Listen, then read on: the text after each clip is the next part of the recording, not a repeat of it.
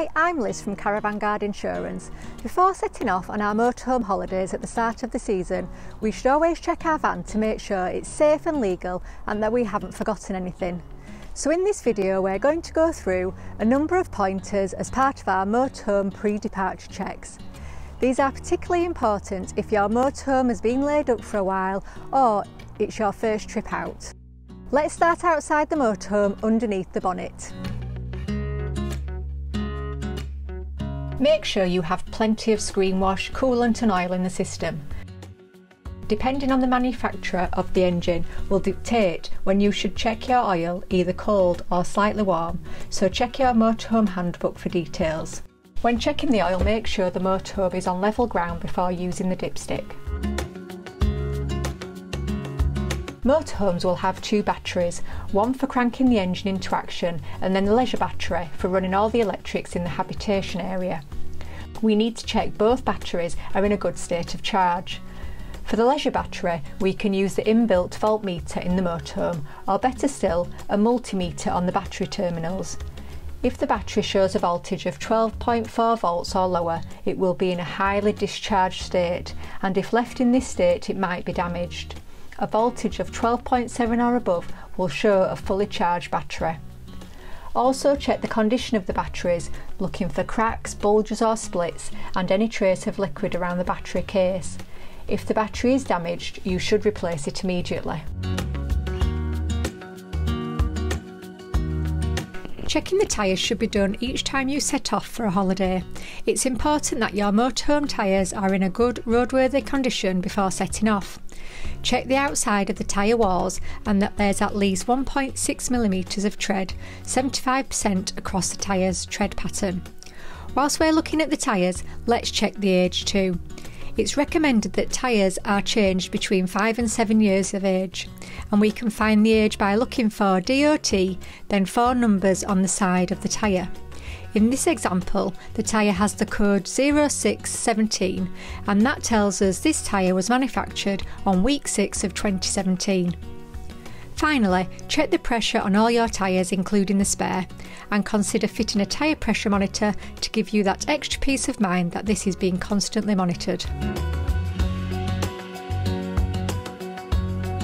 One of our most common motorhome claims is for windscreen repairs or replacements, which can be caused by a small chip which then spreads into a crack.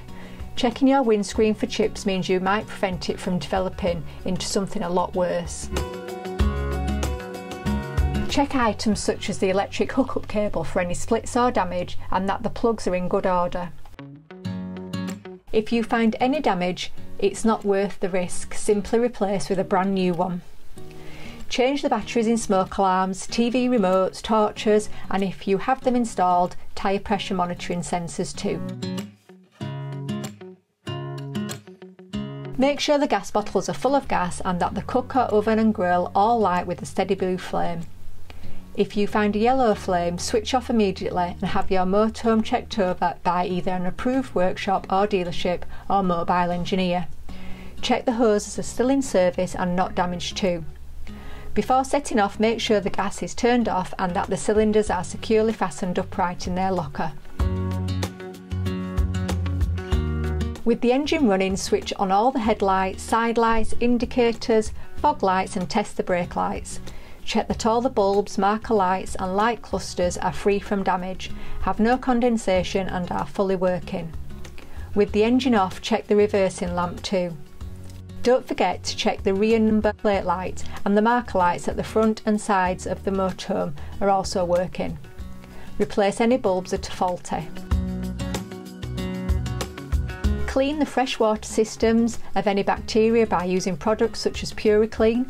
Dilute the chemical into the freshwater tank. Allow the hot water tank to fill and turn on the taps and shower to draw some water with sterilising fluid into the pipes. Leave to sit for 8 to 12 hours before emptying and refilling with clean water. Allowing the pipe cleaner to flow down the sink and shower tray will also clean the waste systems too, but a stronger chemical should be used for the waste tanks. Before setting off, don't forget to pack a hose for filling your onboard water tank or water containers. The toilet cassette can be cleaned as well.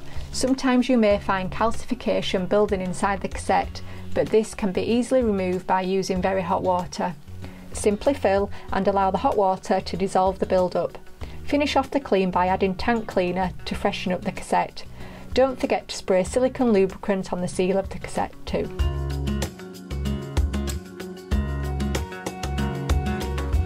The biggest task is a good clean of the outside of your motorhome. Start by cleaning the roof, removing as much debris as possible, clean in and around any solar panel to maximise charge and remove any green or black build-up by using a clean paintbrush. Once the roof is clean, move on to the sides and front of the motorhome. Start from the top and work down the sides. Do not clean the windows with any brushes, use your hands to minimise scratches from grit. Finish off by applying some wax to make the motorhome shine. And once clean, spray silicone lubricant on window and locker seals. Whilst giving your motorhome a clean, it's a good time to check for damage and to make sure all the seals are intact. See if there are any leaks inside when you've hosed down your motorhome. Also check for any signs of damp inside the motorhome such as watermarks, mould or a fusty smell, paying particular attention to habitation windows, doors and skylights. Inside the motorhome remove any items that you've collected over time that are redundant but are eating into your payload Items such as tourist information pamphlets or site maps are easily accumulated.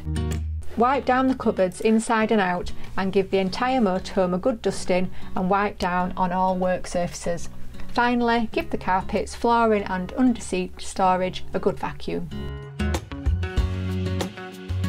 Your motorhome's manual will tell you your payload, that is the maximum weight of items you can safely carry. If in doubt, individually weigh all the items you've added into the motorhome, plus consider things like solar panels, bike racks, etc. that you've had fitted.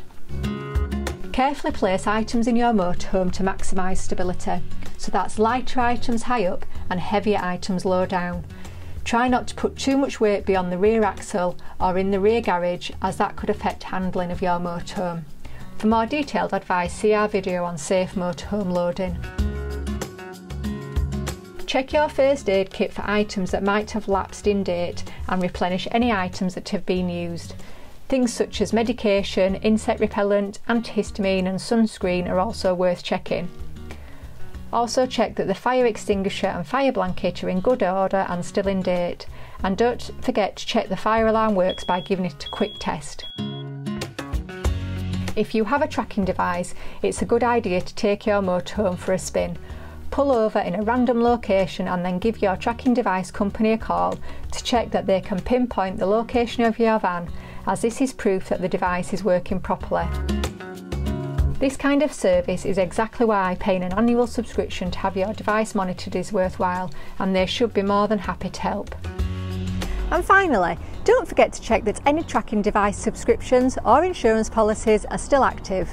Check renewal dates for member organisations as well as your tax and MOT. Make sure you get your motorhome booked in each year for a service of both the base vehicle and habitation areas to avoid any complications whilst you're touring. And last of all, before setting off, don't forget to close all windows, doors, hatches and skylights, unplug the hookup cable, empty the wastewater tank and don't forget ramps, chocks and slip mats for levelling. So that's it. We hope you found this video useful. Most of all, have lots of fun and stay safe. Thanks for watching and for more hints and tips, why not head on over to the Caravan Guard website where you can also get a quote for our specialist motorhome insurance cover. And if you've enjoyed this video, why not like and share. Take care.